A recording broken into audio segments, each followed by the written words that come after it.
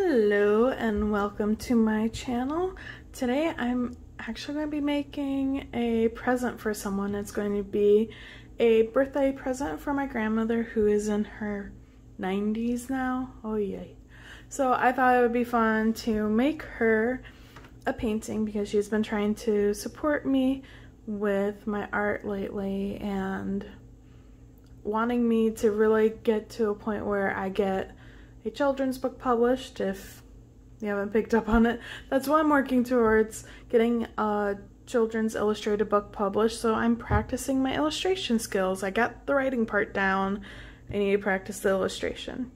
So I will be making a painting for her just for her birthday and I'll be probably keeping quiet while I'm doing the actual painting part so I can focus and I really hope you enjoy it.